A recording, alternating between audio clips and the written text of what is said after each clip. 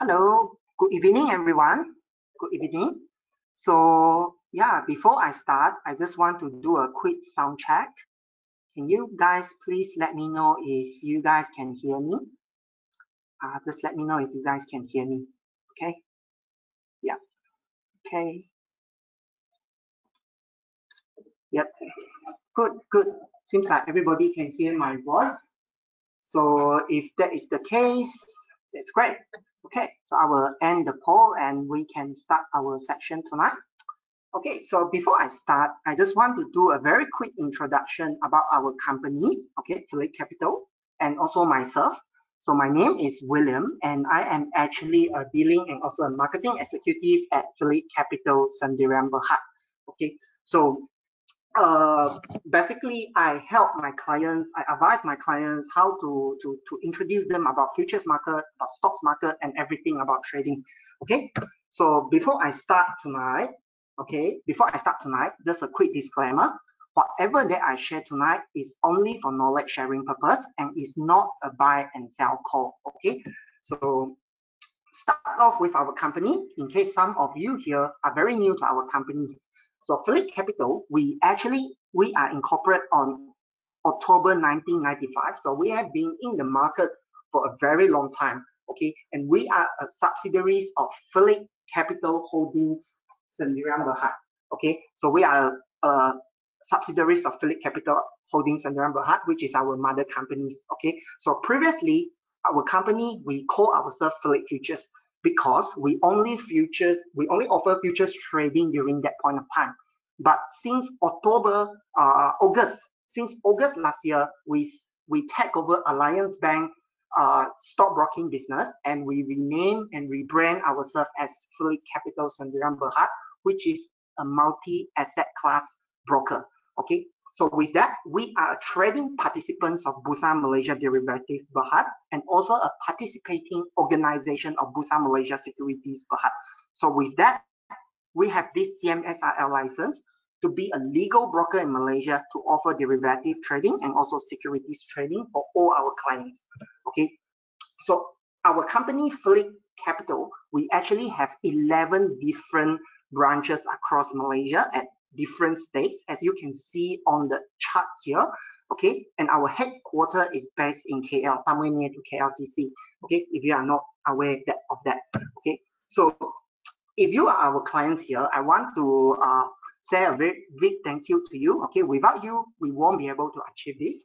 So we these are all the awards we have got over the years from Bursa Malaysia Derivative. Okay, so we have been a very aggressive, uh, very popular uh, brokers in the derivative space, okay, in Malaysia. But starting uh, August last year, we have been offering stockbroking services. So hopefully in the coming years, we, you will see us getting uh, awards as a participant organization, which is the securities segment, okay? So next will be our global network. Okay, so our mother companies, our mother companies, Phillip Capital is actually from Singapore. Okay, we are Singaporean companies. So our mother company, we actually establish offices across all these countries. So we have network at over 14 different countries. Okay, so with that, we don't only offer product from Malaysia. Okay, we don't only offer products from Malaysia, but we offer products from all over the world. Okay, we offer products from the US exchange, from the Hong Kong exchange, from Singapore exchange, from the US exchange, you know, etc. etc. Okay, so that is basically all about our company. Okay, background. Now I want to tell you about our trading platforms and also the products that we offer. Okay, like I mentioned, we are a, we start off as a futures broker. Okay, so what is futures? Basically, futures allows you to trade agriculture, allow you to trade indexes, metals like gold and silver, you know, energy like crude oil, interest rate, which is something that has been in the spotlight recently, the interest rate futures. Okay, so if you are monitoring the interest rate in the United States and you are interested to trade the interest rate, okay, you can contact us, okay, or you can contact your dealer to let them know uh, to let them let you know about the interest rate futures. Okay, interest rate has been very volatile, very attractive to trade lately, and the margin is really small. Okay, but this is not our focus today. So our focus today is equities, especially Malaysia equities. Okay, so for equities, we actually offer stocks from Malaysia, from US, Hong Kong, Singapore, and Australia. Okay. And lastly, we offer contract for difference. Okay. So if you are new to the derivative, okay, contract for difference is actually a leverage trading that you can trade Bursa stocks and US stocks or even US indexes at a super attractive leverage. Okay, I'm not going to go into the details about CFD, but if you are interested, again, you can contact your dealer or you go to our website and contact us. Okay, I'll let you know more about it. Now, why trade with Phillip Capital? First of all, like I shared earlier, we are an award-winning broker.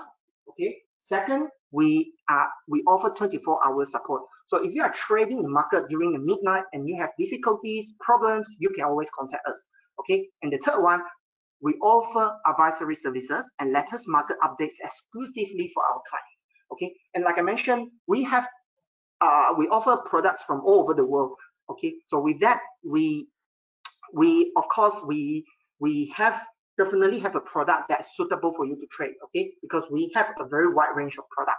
And account opening, we do have online account opening, but at this moment we only have uh, derivative futures account opening that is online. Okay, we are working on on stocks account opening. Okay, that you can do it online. Okay, so if you are new to the market and you want to start off on how to trade stocks, how to trade futures, you can always contact us to have this one-to-one -one coaching session with you. Okay, one of our dealers will definitely be more than happy to do that.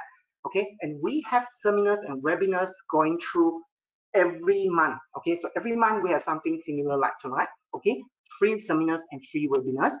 Okay, and lastly, account opening for futures is free of charge.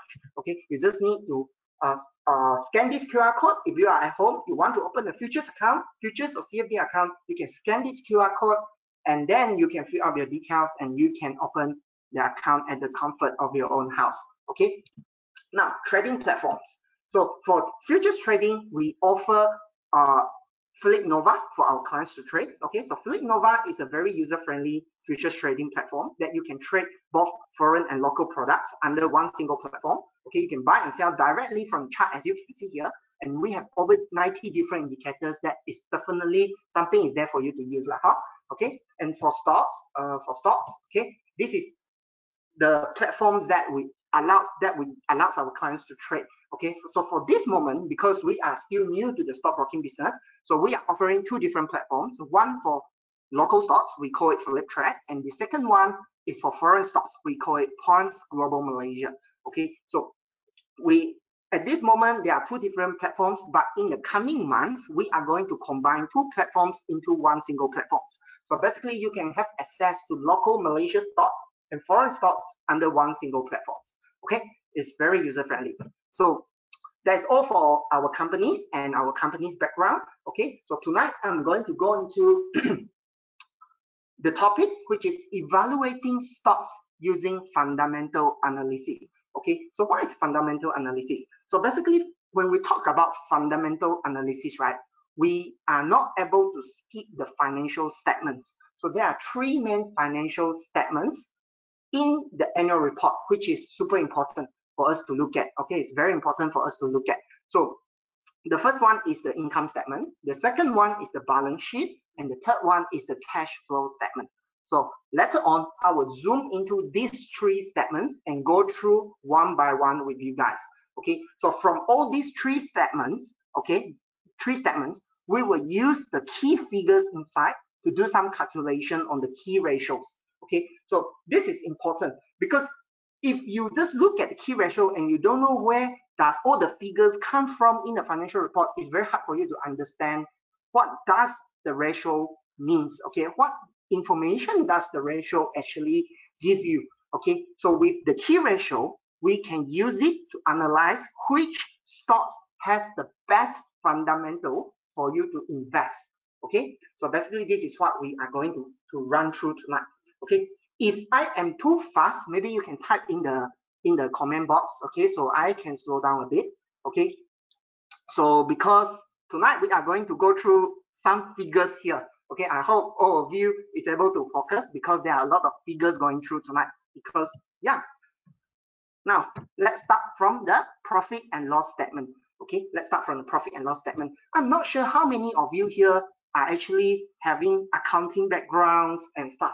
Okay, if you are not, okay, this will be something new to you. Okay, so first of all, what is the profit and loss statement? So profit and loss statement is a statement that shows the profitability of a company over a period of time. So for example, we ourselves, we as a as an individual, we are making money, right? We earn a salary. If we invest in properties, we have our rental income, you know. So our salary and our rental income is kind of like our profit. And what is our loss? Our loss will be our our outflow. So what is our loss? Let's say we have commitment.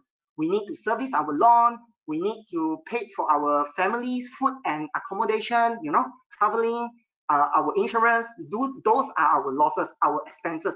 So our income minus our expenses, it turns out to be the, the profit, you know, the, the balance. So this is profit and loss statement. Okay. So just now I mentioned as an individual level. Now we look at companies level. Okay. Because now we are talking about companies. So revenue is similar to something like the input. So when we work, this is something like a salary, our rental, you know, etc., etc. These are our revenue. And the cost of goods sold is something like, for example, if today you are a trading company, you buy you buy a calculator and you want to sell a calculator. So your revenue will be your sell and your cost of goods sold will be the cost of you purchasing that calculator for sale. Okay, so after you deduct your cost, you get your pro gross profit. Okay, so you see, I highlight the gross profit because gross profit is something very important for us to look at when we analyze the profit and loss statement. Okay, now, remember gross profit is important. Huh? Okay, now after we got our gross profit, right, we have our operating expenses. So what is operating expenses? Operating expenses is like you need to pay your salary for your workers, you need to pay for your transportation, you know, you need to pay for, you know, everything like your rental, your electric bill, you know, everything, all the expenses, all the overheads that we call operating. So after you deduct that, definitely every businesses we have loans as well we borrow money from the bank to do our business so we need to deduct the interest okay why i put it separately and didn't lump into it is because when your company right that you invest have very very high debts definitely you see a super high interest expenses here so if you are a dividend investors right definitely investing in high debts company will not give you that dividends you know it's very hard for them to pay you dividend when they need to service very high interest. Basically, the company that is super with super high debts, they kind of work for the bank. Okay. So how do you see whether they work for the bank? You need to look at how much is the interest expenses versus their gross profit. You know, how many percent of the gross profit actually has been used to service their interest? You know, this is interest, not even paying the principal, is the interest. So it's something very important for us to look at, especially if you are a dividend investor. Okay, then you get your profit before tax. After you deduct your tax, then you get your profit after tax or the so-called net profit. Okay, so hope everyone is with me to understand the profit and loss statement. So after we understand the components of the profit and loss statement, right? Now we look at the figures. We focus on the figures that is important in profit and loss statement. Okay. Okay. So this is Heineken Malaysia Berhad. Okay, so this is Heineken Malaysia Berhad annual report. I cropped it from Heineken Malaysia Berhad annual report dated 2021. Okay, so if you look at it, gross profit. Okay, you look at this figure. Gross profit is important. Okay, it evaluates how much profit is left after deducting the cost of goods sold. So how you get the gross profit margin? So every time, right, when we want to understand something, we need to calculate the percentage. The percentage is what is important because percentage is something for us to do comparison. When you want to compare company A with company B, we compare the percentage. So how we calculate the gross profit margin? We take the gross profit, which is this figure, we divide with the revenue. We directly divide with the revenue. Then you get your gross profit. So the higher the gross profit, the profitable the companies. Okay, remember that. The higher the profit, gross profit margin, the more profitable the companies. Now, the second one is the this one. This is the the net profit. Okay, but in annual report they always call it uh, profit or total comprehensive income attribute for the year. Okay, owners of the company means who owns this company. Okay, whoever that is the owner of the company, this is the net profit. So you need to remember this particular word. This particular statement is actually referred to net profit every annual report write their net profit in this manner. Okay, so you just need to remember it. Huh? Okay, so this net profit it evaluates how much profit is left after deducting all your business expenses. So after you deduct your rental, after you deduct your employee expenses, your your electric bill, etc., etc., how much is left? So how you calculate the margin? Again, you directly take this figure, net profit, go back to the revenue. You see, gross profit margin also gross profit with revenue. So you get your percentage. So usually companies with very high net profit ends up with higher net profit. Okay, so higher net gross profit margin end up with higher net profit margin. So the higher the net profit margin, the profitable the companies. Okay, so remember that. Now the third one that's important is the earning per share. Okay, this is called the earning per share. So earning per share basically evaluate how much money a company made for each share of stock. Okay, so meaning to say that right, usually companies with super high net profit doesn't mean that you can get very high earning per share. It depends how many shares is there in the company. For example, a company, I give you a very, very simple example. For example, company A made 100 ringgit, but there are 10 shareholders. So everybody get 10 bucks, right? Now, company B, maybe they made uh, 200 bucks, but they have like 40 shareholders inside. Everybody, how much? Everybody only get 5 bucks. You know, company earn less profit, but less shareholder end up with higher earning per share. You see, the higher the earning per share, okay, this is important ah, because the higher the earning per share, the higher the dividend payout. Because usually how much companies, how much dividend the company decide to pay, depending on how high is the earning per share. Okay, how high is the earning per share? So this is important as well. Okay, this is important as well. So in short, there are only three figures. There are so many figures here in the profit and loss. Only these three figures are important. Okay, only these three figures are important. So now, since we know these three figures are important, let's do some comparison. So how do we compare? Okay, how do we compare? So first of all, you look at this one. This is Heineken. Okay. Second, this is Carlsberg. So Carlsberg and Heineken, they are both like abang adik, you know, but brother and sister kind of companies. Okay, they are very very similar business, selling similar product, everything is similar. So we can do comparison. So how to compare? First of all, look at gross profit. Remember I tell you just now, we need to convert the figures to a percentage as a margin. So if you look at this one, Heineken gross profit margin is 30.32%. Carlsberg is 29.55%. So which one has higher? This one has higher. So I put the trophy here, means this is better. Second, remember this time I say usually higher gross profit margin, usually I'm not saying every single time, but most of the time, company with higher GP margin will end up with slightly higher NP margin, net profit margin. So if you look at this one, uh, for Heineken, the net profit margin is 12.4%, but for Carlsberg is 11.2%. So if you look at this one, which one is better? This one is better. Okay, this one is better. Now the third one is the earning per share. So if you look at Heineken, right? If you look at Heineken, the earning per share is 81 cent, and and then the Carlsberg is 65 cent. So meaning to say, if today Heineken is going to fully pay out the dividend, right? You get more money out of this one. Or even let's say the company is paying out 50%, you still get more out of this one. In terms of money, uh, when I say more, I'm not referring to the dividend yield, uh, not your interest return or your dividend return. Uh, I'm saying in terms of money. You know, this one you get maybe like 50% payout example, you get 400 bucks ringgit. This one, if 50%, you only get 300 ringgit, you know? So it really depends what you want, okay? So this is a figure for you to look at if you are a dividend investor. Okay, now we have settled the profit and loss statement. It's very simple. Now we move into the balance sheet. Okay, we move into the balance sheet. Again, what is a balance sheet? So balance sheet is a statement that report a company asset and liabilities. So what are the components? The, this one is simpler because there are only three components. The first one is asset. We need to minus the liabilities and then we get the total equity. So total equity is something like your net worth. Okay, let us put this into our individual situation, you and me. Okay, we go and buy a house. Okay, we buy a house. The house market value 500,000, but we this is 500,000 lah. Okay, 500,000. But we we take up a bank loan, maybe 300,000. So here is 300,000. So how much is our net worth?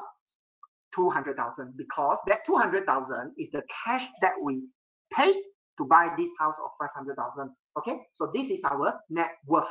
Okay, so this is our net worth. So basically, balance sheet help us to look at what is the current situation of the company's liability, how much asset they have, how much liability they have, and then how much net worth they have.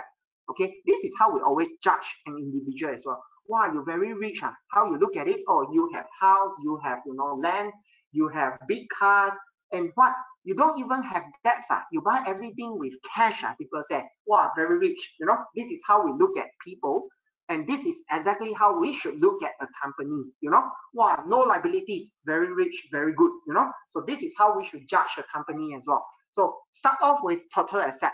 For total asset, right, is asset, everything owned by the companies. Examples, equipment, properties, cash in the bank, your inventories, your trade receivable. So trade receivable means you sell something and then the people owe you money so they are you this is an asset because people own you money you know? You need to collect it from them okay? Second we go to liabilities. So liabilities is something that uh is owned by the companies okay? Oh sorry. This is asset owned by the company and this is uh this is not owned by the company. I think i typed something wrong lah. This is something liability is something that we own people you know? The companies own the other another party Okay, example, bank borrowing. Companies own money from the bank. Okay, trade payable. We need to pay our suppliers. Okay, so we own people money. Okay, this is liabilities. So after you this minus this, this is the equities left over of the asset after deducting the liabilities, which is our net worth. Okay, so this one balance sheet, nice and simple. Everything clear? Okay, then we move on. So uh, now we move on figures to focus in the balance sheet. After we understand what is asset, what is liabilities, what is uh, equities, now we look at, you see, so much figures. When you flip into the annual report, right, there are so many figures. So what are the key figures? So if you are not an accountant, you don't need to look at everything. Okay, if you are not an accountant, you don't need to look at everything. You just need to focus at the figures that I just highlight right now. Okay, first of all, cash. This is super important. Okay, cash is important. So when we talk about cash, right, you need to look at your bank borrowings as well. Okay, so if your cash in the bank is more than the bank borrowing, we usually call these kind of companies a net cash company, or we call them the cash cow. You know, usually when people say, "Wow, this is a net cash company," how do you justify that? You just look at the cash in the bank, and then you minus the bank borrowings. This is the borrowings. You see, some companies they use the word bank loan, bank borrowings, you know, yeah, bank loan and borrowings, whatever, but they are all the same thing. Okay, you need to look at this one, borrowings. Okay, so when people say this is a net cash company, how you go and verify? You look at cash minus this. Okay, so if the borrowings is bigger than the cash, then we call it a net debt company. So in this case, Heineken is a net debt company. Okay, understand? Huh? Then the second one, we look at the asset. Okay, this is the total asset. This is important. The third one is the net worth of the company, which is this one. So basically, net worth means you take the total asset, you minus the total liabilities, you get this one. So this figure, right, must be positive. Uh. This figure here must be positive. Moment you get a negative figure, uh, you go into PN17. Uh. So recently, if you have been monitor the market very closely, you will realize Pharmaniaga has been going into the PN17. Why? Why? Because their equity is going into negative. How is that possible that a company is going to have a negative equity? It's like negative equities is like you basically go bankrupt, you know. If you are an individual and your your liability is bigger than your loan as an individual. Uh, for example, you own the bank like 1 million, but your asset only have like after minus everything, uh, the asset, the collateral that you have for the bank uh, is only like 500,000. Basically, you, you will go bankrupt, you know, you will go bankrupt. So what happened to Pharmaniaga is that they do a provision uh, of their vaccine or whatever, and that provision basically turn this equity into negative. So moment you go into negative, Bursa put you into PN17. So pay very close attention to this one. You don't want companies with very low equity, which means that your debts and asset, your total liability and asset is already very, very close. Uh. Usually companies that the debts, the total liability and total asset is very, very close. It's very, very easy for them to become a PN17 companies. Okay, so pay very close attention to that. Although we don't get it every single day, but at least you have a look lah, huh? So this is something important. And the, the, the, the next one, bank borrowings, okay? So basically this one I explained many times already is the money that you own the bank, you borrow from the bank. And lastly, the total liabilities, okay? So this total liabilities is a figure that can be used to calculate uh, the debt to equity ratio. So why debt to equity ratio is very important, okay? Do you remember just now I, I told you that how to how to prevent a company to be to look at a company when we look at a company we want we don't want to invest a company that has the potential to turn into a PN 17 company okay? We don't want that. First of all you need to make sure that the total asset and total liability are not too too similar uh, you know? If one to one uh, moment this liability go bigger than asset you go into PN 17 second you can just calculate this one the debt to equity ratio. Means that your liability, it, it helps you to see how many percent is your liability, total liability over the equities. Okay, it helps you to see how many percent. So why this figure is important? Because when your liabilities is already like three times, four times, five times, six times, it's too big. Uh, it's very, very hard for these kind of companies to get loan from the bank. You know, it's going to have, you see, uh, a high debt to equity ratio means the company may have a harder time covering its debts or raising fund from the bank. So we don't want companies with very, very high debt to equity ratio. Okay. So how do you judge whether the debt to equity ratio is high or low? I think different industry, different sectors, they have a different kind of level of debt to equity ratio. I give you some example. Uh, properties related companies, usually they have very high debt to equity ratio because they need a lot of money to do business. You know, you want to buy land is expensive. You want to build something first is expensive. You know, they need very high debts. You know, so usually the way that you compare, you should compare within the same industry. So for example, you select five companies from the same industry. You go and calculate all this ratio. You go and calculate the debts to equity ratio. So usually when you look at, you compare five different companies in the same sectors, you know what is a good and what is bad. The highest definitely is the worst lah. The lowest definitely is the best. You know, so you at least you get your benchmark for that particular industry. You go and pick the top five.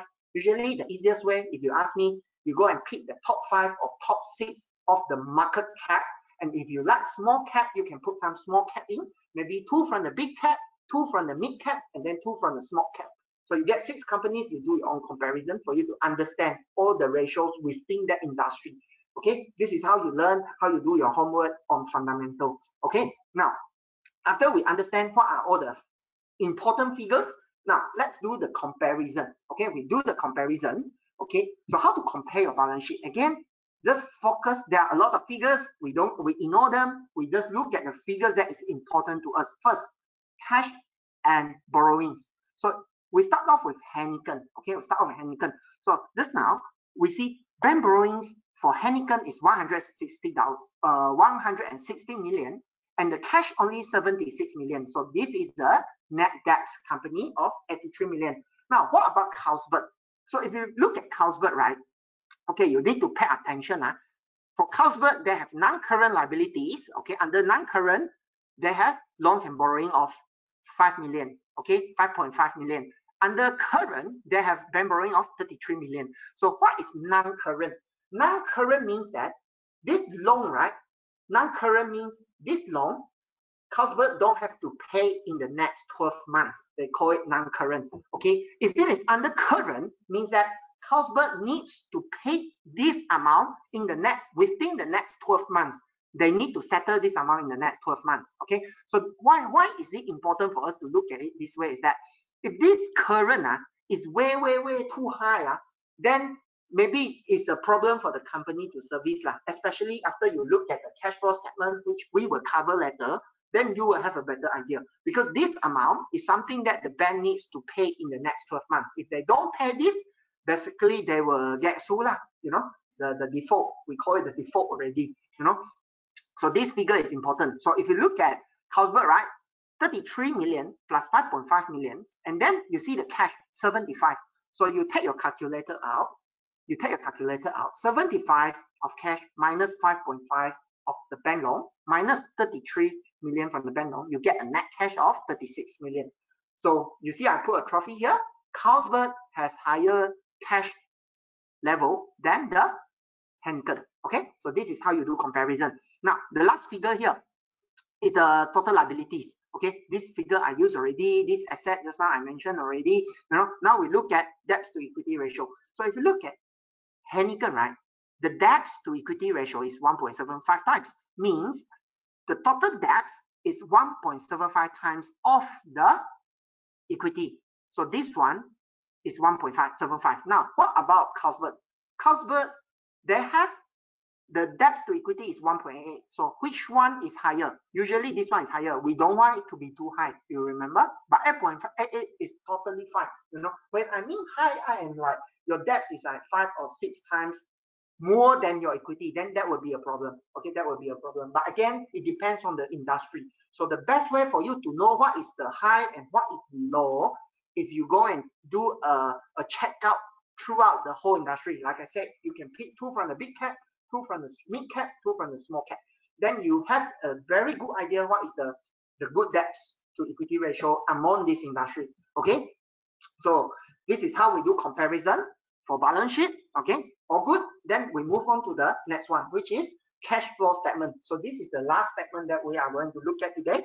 Okay, so what is a cash flow statement? So cash flow statement is a statement that allows you to look at the inflow and outflow of the company. So it helps you to see the money coming in and money coming out.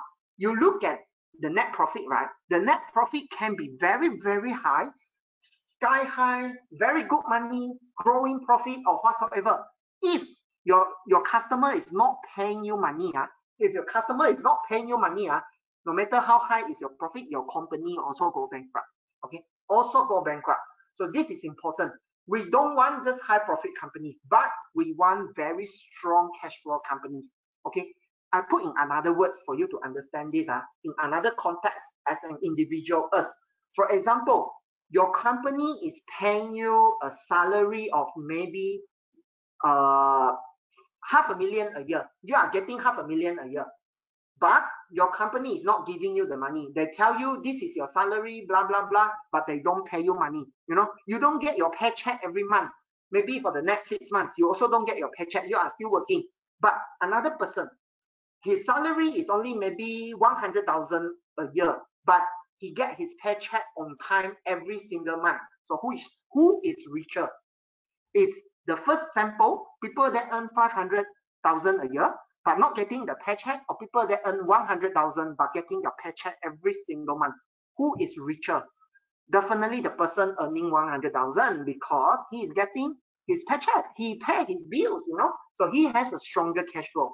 So remember, high profit doesn't equivalent to strong cash flow. Okay, so what are the components of cash flow statement? First is the operating cash flow. Okay, second is the investing cash flow. The third one is financing cash flow. Okay, so what are all these? Okay, let's look at the operating first. Okay, you look at this one. Huh? So operating cash flow, okay, operating cash flow is money the company spend or the company, the money the company made purely from business activities. Okay, purely from business activities. So for example, if you are a trading company, for example, you are manufacturing companies, all your manufacturing business, your cash received, your cash outflow from manufacturing will be booked under the operating. Okay, now what is investing? Investing is money the company spend to generate uh, from investment. Okay, it can be, for example, if you dispose an asset, you dispose an asset, you dispose uh your let's say your you have a piece of land in your company, you dispose it then that money will not appear under operating because operating is purely for you to see how the company perform from the business perspective.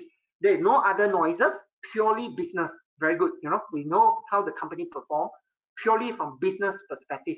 Then all your investment, uh, This one, you sell property lah, will book under here lah. So it don't disturb your operating. Okay, it don't disturb your operating.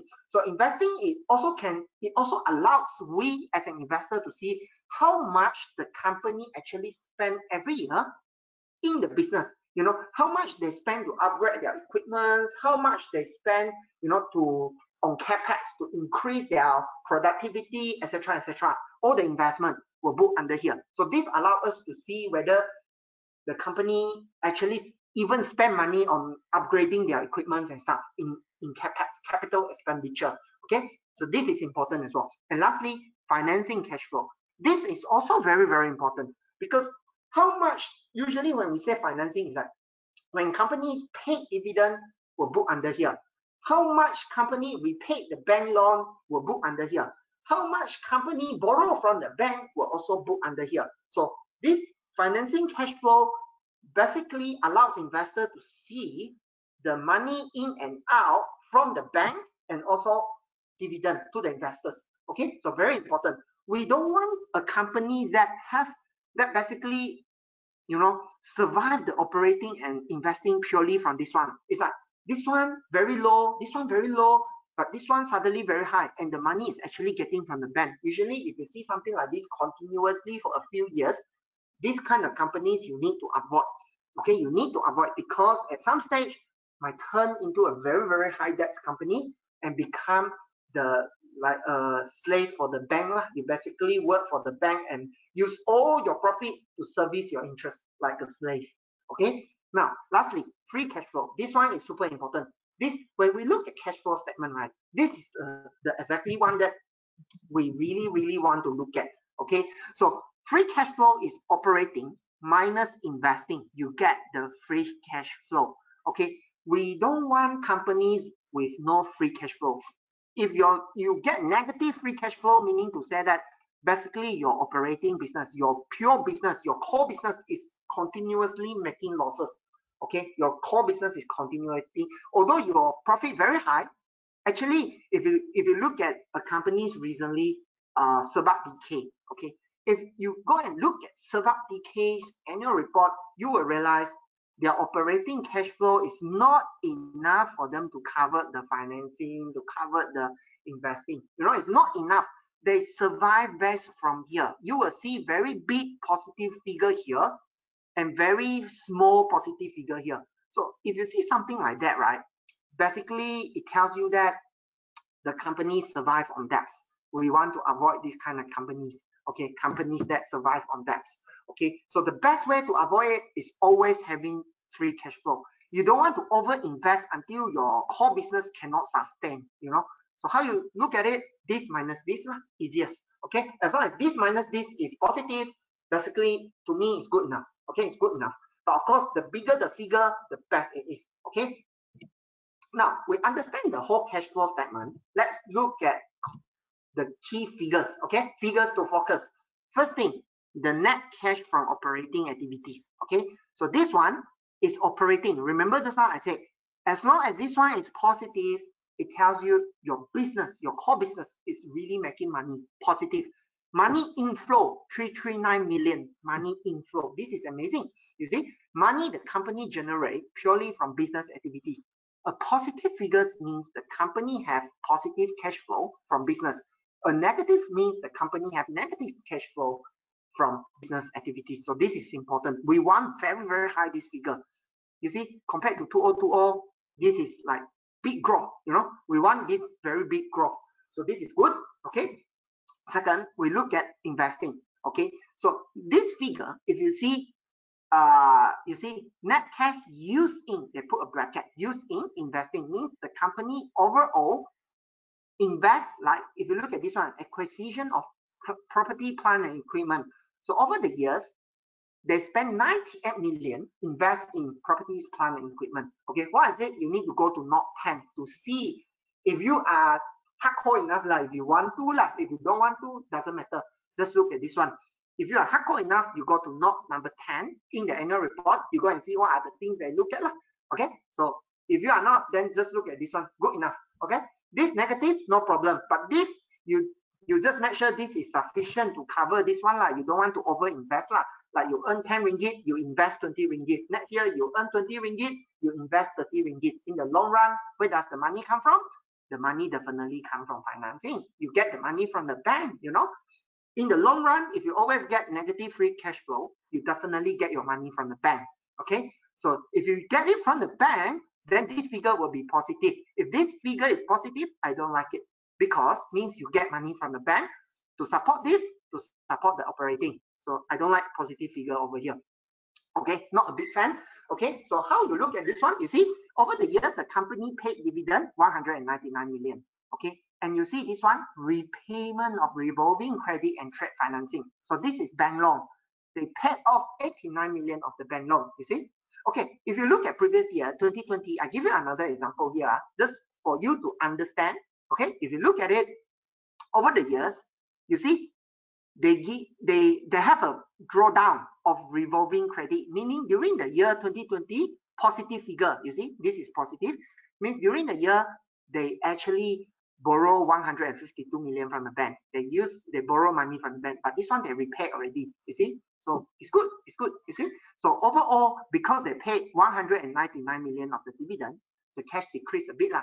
Okay, you see, after investing 100 million, after they paid almost 200 million, they still get a positive cash. They on the, the cash in the bank only reduced by 50 million.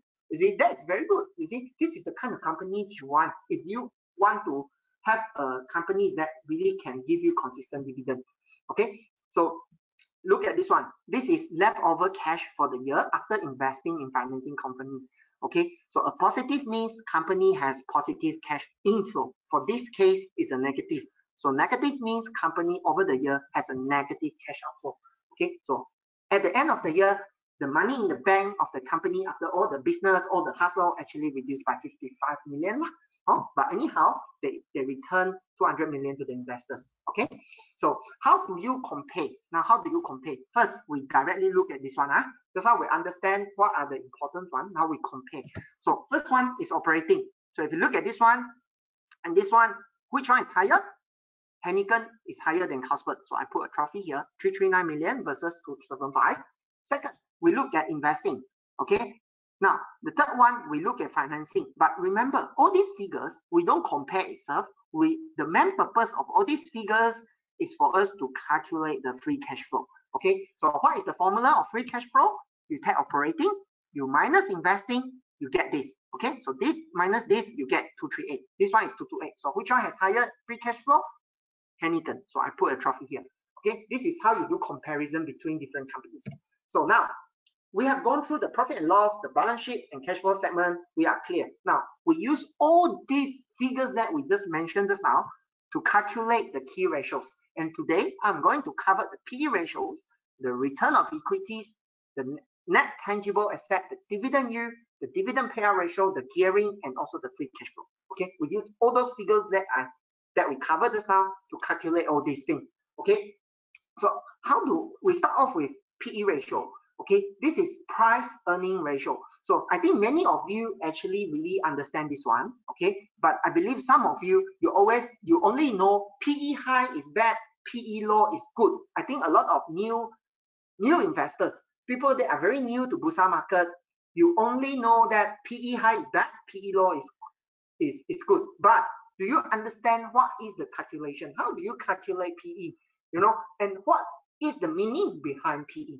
So basically, PE ratio allows you to calculate how many years you require for you to return your investment. How many years require? Okay, come back to our real individual cases again. Okay, for example, today you or me, we invest in a property, 1 million. Okay, and this property is going to generate 100,000 of rental one year, every year. So how long for me to return the investment? 10 years. So the PE, the price to earn is 10. This is how you calculate. Okay, this is how you calculate. So the PE is 10. So now, assuming there are two different companies in the same industry, or even three, why people always choose the lowest one? Because they think that is these companies, okay, they think that these companies requires require lesser year for them to return their investment. But always remember, uh, PE ratio, how high is the PE ratio really depends on the market. Usually high growth company have very high PE because people have very high expectations. And low growth company usually have lower PE because people don't have much expectation. So it really depends. You can't say PE too high, not good lah. But at least later I will share you something for you to judge where is high and where is low. Okay, later I will share you. Now, second one, we move on to return of equity. I think I'm going to overshoot a bit, five to 10 minutes today uh, because, yeah, maybe I am, yeah, content is a bit too much. Okay, so let's move on to ROE. I will try to speed up a bit. Okay, so ROE, the formula is net profit divided with total equities. Okay, so ROE basically allows you to to evaluate the efficiency of the companies using their resources. Okay, so I give you some again okay? It, it, allows you to evaluate how much money the company generate with the amount of resources they have. I give you another example. For example today i have 50000 in my pocket and you have 100000 in your pocket okay? I have 50 you have 100 but when we go out and use my 50 you use your 100000 to, to try to do business. For me i made a profit of 100 you also made a profit of 100 so who is more efficient? Definitely is me right? Because i use 50000 and earn 100,000 and you use 100,000 to earn 100,000. So definitely I am more efficient. So I definitely have higher ROE. My ROE is two. Your ROE is one. So definitely I am more efficient. So this is this is the the the concept behind ROE. The higher the ROE, the more efficient the company using their resources. Okay, using their resources to make profit.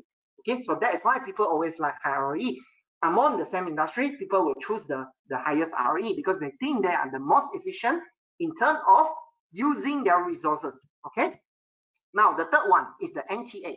So NTA means you use your total asset, you minus your liabilities. So when you minus this, you get what? Your net worth, your total equity. So you take your total equity, you divide with number of shares, means how evaluate the value of the company based on its net asset. So it, it tells you how if you buy this a share, how much is the asset per share?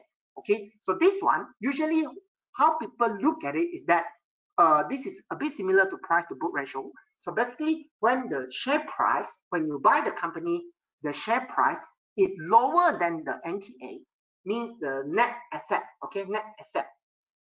If the share price is lower, people will always say, wow, this company very undervalued, okay? But to me, uh, lower than share price is not always the good benchmark for you to decide because again, if you go and look at all the properties company, right, every single company in the properties sector, okay, you look at the property sector, majority, I will tell you 80% of them has lower share price. The share price is lower than the NTA. But are they good to invest in the current market environment? Is property stocks going to shine now? Okay, ask yourself, the NTA is definitely way higher than the share price, but are they good to invest? You know, this is, but this, of course, again, this is a good benchmark if you think the company has the growth, has, uh, you see the growth in the company, you see stable dividend, or you see, you know, you see some value in it, then you can use this to to help you to pick lah among the same sector. To help you to pick, okay? But again, not every company's the share price is lower than NTA is good. Uh, pay attention to that. Okay. So after after that, you look at this. Uh, you can count your dividend yield. Okay, you can count your dividend yield. Okay, so this dividend yield is a very good benchmark for us to invest because we want when we invest, we want to have very good return. Okay, but again, one of the things that I will really suggest you to use NTA one of the sectors like me myself, I really will look at NTA and dividend yield together is REITs. Okay, at this moment, if you go and look at all the top tiers REITs right, like Pavilion REITs Sun REITs you know, the YTL REITs you know, YTL basically owns most of the Marriott in Malaysia. And and if you look at Marriott, right, all the traveling, the tourism are coming back. But their NTA, the share price is currently like 90 cents, 90 cent ish, but the NTA is 1.6. You know, it's like the NTA, the asset itself is deeply under under the the uh, the share price is deeply under the asset value. Okay, under this kind of circumstances, is it going to be good? Like I said, is property going to be good? Now, ask back your this question: Is it going to be good? is the dividend going to increase moving forward? If your answer is yes, then is the growth there for the next, I, I don't want to say 10 years now. Since we invest, we invest in a shorter to mid midterm, we look at a time frame of two to three years. Do you think YTL REIT is going to give you increasing dividend over the next two to three years when the hospitality, the traveling sector is coming back? Okay, is it going to be possible? Okay, if your answer is yes, then with this kind of price to book value, asset is 1.6, share price is 90 cents. Is it a good investment? Ask yourself. I'm not telling you, but you go and ask yourself. Okay, so you can go and check all these kind of things. Again, same for Pavilion REIT. What is the dividend yield of Pavilion REIT? Go and count and look at the asset. I think these two are one of our uh, uh, uh, two of the most important thing for you to evaluate REITs. Okay, it's not every day. If you look at over the past five to eight years, you rarely, rarely see top tier REITs trading below the NTA. Almost impossible in the previous five years before COVID. Five years before COVID, you will not see top tiers REIT trading below the NTA. Okay, that is totally not possible. Only after COVID. So pay attention to this kind of stocks, you know, that is deeply under the NTA just because of the COVID and they are not recovering, maybe because of the high interest. But if it is because of the high interest that they are not performing, then is interest going to stay high forever? If your answer is no, not going to stay high forever, then moment the interest rate reverse, all this thing is going to go back to its NTA or even above its NTA. Okay, so you should, this is how you use fundamental analysis to evaluate a sectors. So if you really want to evaluate, you need to pull out all the stocks within the same sectors and evaluate. Okay. Lastly, this two is dividend payout ratio. Okay, dividend payout ratio. So for this one, you evaluate the generosity of the company. So it depends how many percent lah. Some company that earn one ringgit, they give you one ringgit. Some company that earn one ringgit, they give you 80 cents, you know. So you count the ratio again, the percentage, then you know how generous is this company lah. Okay, so lastly is the, uh, this is not the last, this is gearing ratio. So gearing ratio, remember, this one I told you, I like companies, when I look at gearing, right, I'm only referring to cash and bank over the equities. Okay, so for this one, gearing allows you to evaluate the financial leverage raised by the companies over their equities, the net worth. Okay, how much is the leverage over the net worth? Okay, so a very high gearing means the company is less flexible during economic slowdown. Okay, for me, if I am a dividend investor, I will focus on a gearing ratio that is below one. Okay, so when you this minus this divide with this, I like it to be below one. If it is more than one, uh, the interest means the company need to work harder for the bank lah, to service the bank interest lah. Huh? So yeah, that is basically the meaning behind gearing ratio. And lastly, this one I think I explained it already.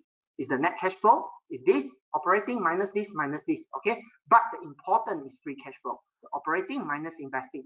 Okay, so free cash flow is extremely important as it measures the company's ability to meet their debts Okay, so financing cash flow allows investor to see whether the company survive on debts. Okay, so just now I mentioned lah, we look at this and this to make sure we have positive free cash flow and financing is just for us to double check whether the company actually survive on the debts. Okay, now how to use key ratio for stock pick? We are almost there. Just give me another 10 minutes. Okay, so uh, this is how we do comparison. Uh.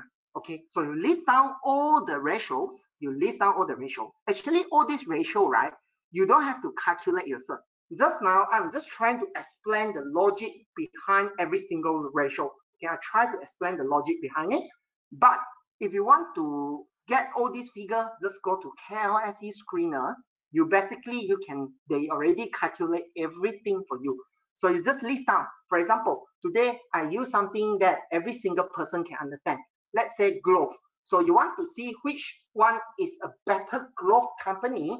You list down all these ratio, then you put down, okay, uh, top growth, Harta, Supermax, you know, comfort, you list down, then you you you list down, and then you eventually which one is the thing that you think is the most important for you as an investor. because different time frame requires different different things. Whether you are a dividend person, you know, and stuff.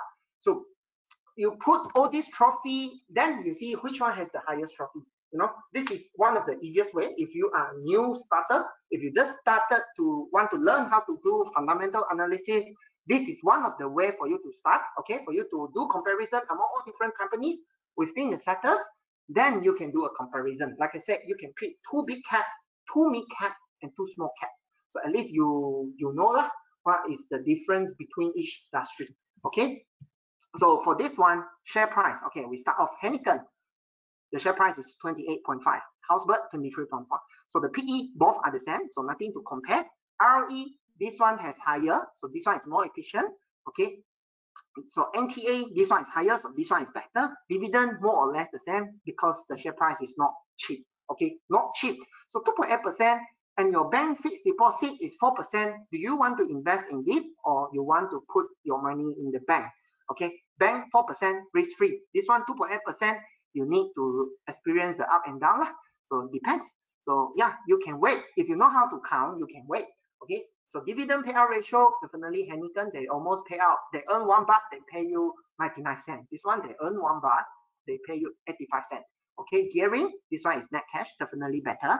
Free cash flow, this one higher, definitely better, but they are quite similar, so not, not so much important. Okay, net cash flow, when you have free cash flow of 200 million, to me, net is not so significant anymore. Okay, because your free cash flow is very, very strong. Okay, so this is how you do comparison. So, okay, now how to identify undervalued stocks? Just now we talked about a lot about using ratio understanding. Now we talk about undervalued. How do we use fundamental analysis to identify undervalued stocks. Okay, four things I look at. Okay, four things. This is these four things is the easiest. If you are a beginner in the in the stocks market for fundamental, these four items is the easiest way for you to start to identify undervalued stocks. First, PE ratio. It must drop below the average or historical low. Second, price to book value must drop below average or historical low and the dividend yield it must be a historical high. And fourth, the company must have growth. This is the most important also, uh, and do not survive on debts. If the company survive on debts, you know lah, Serba Dinamik survive on debts, and Pharmaniaga, the you know lah, once the asset and liability are too close, a big a big provision, you go into PN17. Okay, so how do we look at this this tree? First of all, you can use TradingView to identify the high and low of PE ratio.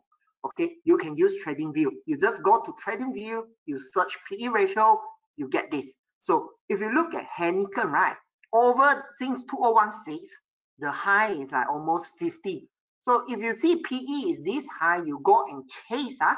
then likely you you you you it's possible you chase into the peak. Huh? there is a risk lah. You see, here to here, you need to experience lah. So when we try to invest, right, you draw a line over. So if you invest somewhere lowest, your risk definitely minimized. Okay, but again, is there growth in this company? When you think is down here, ask back yourself: Is there growth in this company? If your answer is yes, then you can start to accumulate a bit, a bit, lah, and also dividend if it is important to you. Okay, dividend is very subjective. Uh. Some people focus it, some people don't. So ask yourself, Okay, second, price to book value. Again, TradingView already plot it all up for you. Just go to TradingView, you search price to book ratio, it tells you. So if you want to buy, right, somewhere here, you see here, price to book value is at the lowest already. Uh, here, you buy, definitely you won't buy into the peak, right? You buy here, definitely you buy into the peak, you see. You use TradingView to plot out your two line, you try to buy. Again, if it is here, ask back your next question do you see growth in this company for the next two years? If your answer is yes, then you can start to accumulate. Lah. Okay. Now, this is basically it. And for dividend, you need to calculate yourself. Lah, huh? Dividend you, I think, do they have it here? I can't remember whether TradingView. I need to check again. But if you don't have, you just need to know lah, how what are the dividend you you can accept. For example, one of the way for me to judge is now the bank is offering you 4%. So if you want to invest in something that have volatility, I think you focus on things that with five or six percent at least additional, like, a bit extra. La.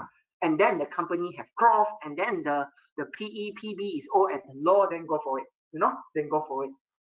Okay, so something that you can look at enhance, okay, I call it, what are the other things investors can evaluate other than the key ratios? The first one, we definitely look at the single customer risk, okay? We want to avoid, like, not say avoid, if you think these companies that you invest, right, have single customer risk, maybe it's not so suitable for you to make it a very, very big weightage in your entire portfolio. For example, I'll give you one example. Uh, uh, Inari. If you look at Inari, right, every time Broadcom has some news, oh, Apple might lose contract from Apple, uh, you will see Inari maybe dropping 5 to 10%. Every time this kind of news come out, Inari will drop 5 to 10%. So if suddenly one day uh, Broadcom seriously lose Apple as a customer, Inari will worth nothing, you know. Inari will worth nothing because Inari has this single customer risk, you know. So if you see these client uh, companies that you invest have this single customer risk, you try, you can invest. I'm not saying they are not good, they are still good, but try to not make it too significant in your entire portfolio. Okay, you probably allocate 10%, 30% is fine. You don't go up to 50% on these kind of companies. Huh? Okay, understand? Then second, you can look at all this information is available in the annual report. Okay? You need to know how to find it inside there. But today due to time constraint i'm not showing you. Okay? You can ask us like if you want to. Second is diversification. So usually in annual report right they will tell you this company the income derived from which country which country. So we want the company to have income from overseas Malaysia market is limited. Overseas market is unlimited. So we want company to have diversification. So two companies inside, like example, Heineken and Carlsberg. Okay, Carlsberg, if not mistaken, Heineken only have business in Malaysia, and Carlsberg have business in Malaysia and Singapore. So which one is better? Which one do you prefer? Do you prefer companies that only do business in Malaysia, Heineken, or do you prefer companies that do business in both Malaysia and Singapore? It's, uh, something for you to to, to compare. Okay. And lastly, identify the growth engine potentially to boost the upcoming sales. So this always the most important. This is like, you know, the backbones of the share price. Okay. Very important. So to summarize everything, I think we look at profit and loss. Okay. This one I'm not going to go through again because due to time constraint, we look at balance sheet. Okay cash in bank versus bank borrowings, liability versus equities. Okay. By the way, all these things will be recorded and will be uploaded onto our YouTube if you want to reach watch it. Okay. But if you want us to give you the slides because there are a lot of figures, uh, if you want to read all this again, you can send us a message. We can email you the slides. Okay. Because there are lots of figures, a lot of information can be too much. Like, huh? if you are really a new investors in the market. Okay. We look at cash flow. We look at the key ratios. Okay, now time for Q&A. Do you have any questions? And also, uh, so if you have, if you want to open account, you can scan this one lah. Oh, so let's start our Q&A session. If you have any question, you can type in the comment box and I will try to answer it. Okay, so the first question, uh, I think Aaron, Aaron asked us whether the recording will be sent to you. Yes, we will. We will upload it onto our YouTube. Okay. The second question, do we use this to compare similar companies? For example, compare all the banks and see which one has higher uh, gross profit and net profit margin and EPS. Okay, for banking industry, it's slightly different. Uh. Banking is a service industry. It's different from Carlsberg, Heineken. They are more into uh, they are more into manufacturing. That's why you compare it this way if you compare banking, right, you need to look at different things. First thing, very important, is net interest margin. Okay, so their net profit margin is equivalent to net interest margin, meaning how much money they can make the margin between the spread, the money that they receive from their clients, the fixed deposit, people place, they pay, and the money they charge out to the clients based on the loan. These are the spread in between. The higher the margin, the better. The second one for banking, right, usually very, very important is the, we call it, what do we call it? Uh, like the default one, you know, non-performing loan. Yeah, the official word is non-performing loan. So we don't want the bank to have very high non-performing loan because the higher the non-performing loan means eventually the, the, the provision for bad debts is going to be very high. The default is going to be high. So we don't want bank to have very high non-performing loan. And the third one is definitely the adequacy ratio. This is super important because adequacy ratio basically tells you whether the bank will go bankrupt or not. If the adequacy ratio is, I, I can't remember what is the minimum benchmark Bank Negara set for all the banks already. There's a minimum benchmark. This is to make sure the bank will not go into bankruptcy. Okay, so basically adequacy ratio means how much money they borrow out, they need to have how much money in the reserve to, to make sure if the economic crisis come, they can still survive. Okay, so we want to have very, very high of these uh, debts to equity, uh, the, this adequacy ratio. So banking is slightly different. Lah, huh? Banking is slightly different. So the way that you analyze different industry can be slightly different. Lah. But today I'm using manufacturing because if you are new to the market, I think manufacturing is the easiest for you to understand. Okay. Now the next question is by Brahim. Uh, he is asking, Heineken profit and loss income, finance cost is evasive. What does this mean?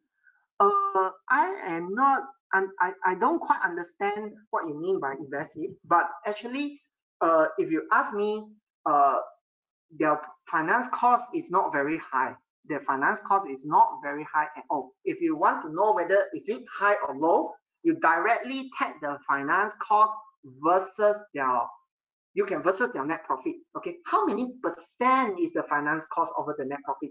If the finance cost and net profit maybe is like one to one, uh, then then definitely that is very high lah. You know, the easiest way for you to look at it is you use the percentage. You take the interest payment, the finance cost, you divide with the net interest net profit. You divide, if the percentage is like 10% of net profit, ah, that is okay lah. You know, it's normal. It's normal. Okay. And the last, the next one is by Hazlina. Okay, it's by Hazlina. What is the simplest formula to calculate intrinsic value? Okay, this intrinsic value uh, is a very big word if you ask me. It's a very deep word as well, intrinsic value. This intrinsic value, I think a lot of we call the the analysts they like to use it but for me i don't like to use it because i think it's too complicated for us as an investor. We for me i just look at what is really important. The free cash flow is important. If i am a dividend investor okay i want to focus that i have very high free cash flow okay? Again this intrinsic value like i said do you remember just now i mentioned about REITs okay? I mentioned about REITs in particular. At this particular moment, if you ask me, the companies that really have that really good risk to reward. When I mean risk to reward is that when the interest rate reverse, maybe in turn at the end of 2023, maybe early 2024, when the interest rate reverse, I think REITs will shine. And what is the downside? Okay, what is the downside? I think just now I kind of analyzed REITs a bit using the NTA, the dividend and stuff for you to to really understand it. I think understanding all this ratio and use it is more important for you to really calculate this intrinsic because intrinsic is very big. I think it's usually used by analysts and how they calculate, I don't know. You know, honestly, I'm not an CFA analyst. I am just a retail investor that look at fundamental. Okay, so if you ask me, I won't be very particular about this word, but I will use all whatever that I share you and make sure everything keep my chat box, my chat list then I'm happy to go for it. Okay, now next word, NAV. Is NAV same with NTA? If not, what is the difference? Net NAV, I think NAV is net asset value, is it? I think net asset value is more or less the same. Uh, let me see, uh, NAV. I think NAV, yeah, it's net asset value. I think net asset value is the same thing as net tangible asset. It's the same thing. It's more or less the same thing. Okay, it's 90 90% similar you can just directly use NTA if you ask me. Okay. The next question, uh, when chat, you want the slides? Yes, you can. You leave us a message. We will email you the slides. Okay. Next question by Leong Wei Tan. Okay. The question is, the borrowing higher than cash, does it mean it's bad? Most importantly, is its liability able to pay out the, its ability to pay out the debts. Correct. You are totally correct. High borrowing uh, bank borrowing higher than cash doesn't mean it's bad.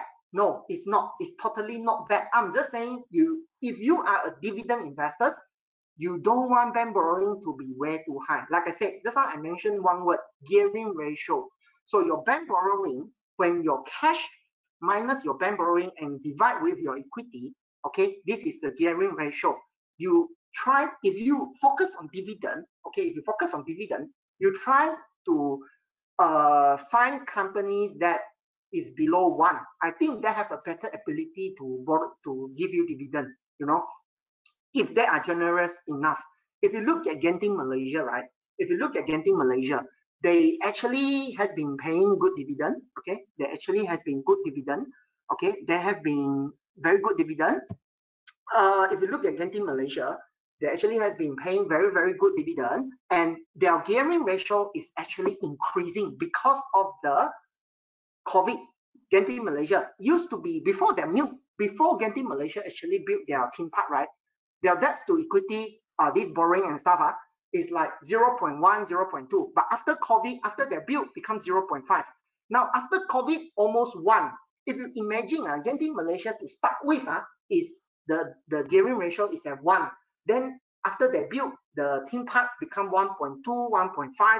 Then after COVID, maybe become 2 or 3. Uh, then you really don't expect them to pay you dividend anymore. Even if they do, maybe they borrow money from the bank and pay you. Lah. That is something we don't want in Mandarin we call 吃老本, you know, something like this we call 吃老本. And I really don't want to invest in companies that pay you with their reserve. I don't want company to pay me dividend with their reserve. I want the company to pay me dividend with their earnings, their, their operating cash flow is something that they should use to pay me, not with their capital reserve, not with their bank borrowing. So how do you judge that? You go to cash flow statement. You go to cash flow statement. Okay. Now next question here. Uh, I think there are a lot of question or a lot of question. I'm not sure whether you guys want me to to go through everything or maybe I think tomorrow I will try to I will try to reply all of you one by one lah. Huh? Those that I have not able to cover it, I will try to reply you guys via email tomorrow because we have been overshoot by 12 minutes already. We've been overshoot by 12 minutes already and there are still a lot of questions. Okay, so I guess if you have questions, you just type in the comment box or something. Tomorrow I try to reply you one by one. Okay, I guess that is all for today. Okay, and uh, before we finish, just a quick one. Okay, before we finish, just a quick one. Uh, just to let you guys know uh, our social media. Okay, so if you want to know more about us, you can follow us on Facebook, on YouTube, on Telegram, you know, and on yeah, our website is phillip.com.my okay? Oh sorry this one is mine. Okay it's okay sorry. Okay so basically that's it for tonight and very thank you for your time okay? Thank you for your time and if you want to know more about stocks trading try to contact us we offer very very attractive brokerage for you to trade Bursa, for you to trade US stocks as well. okay? With that I think that is that is all for tonight. Yeah thank you for your time. Bye bye